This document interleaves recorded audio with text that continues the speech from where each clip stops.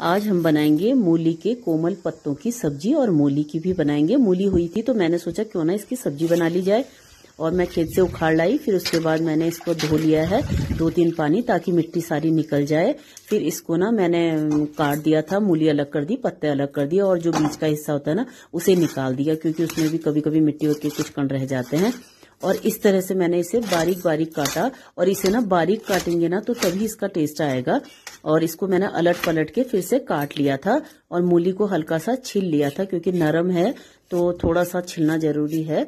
तो छिलने के बाद मैंने इसे काट लिया, गोल काटे, चौकोर काटे, जैसी आपकी मर्ज़ी हो वैसा काट लीजिए। और डालेंगे सरसों का तेल, उसमें डाल देंगे चार से तीन मिर्चें, और उसके बाद हम डालेंगे इसमें सब्ज़ी फिर हिला के इसमें डाल देंगे मसाले। तो हरी सब्ज़ी है तो मसाले कम ही जाएँगे। हल्दी, नमक, मिर्च, सॉरी, मिर्च नहीं डालेंगे, क्योंकि मिर्च हमने डाल रखी है और धनिया डाल देंगे, बस हो गया।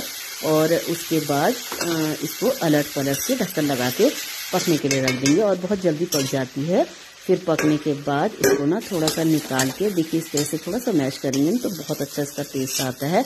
और बनाइएगा और बताइएगा कैसी बनी थी, तैयार है आप लोगों के लिए सब्ज़ी?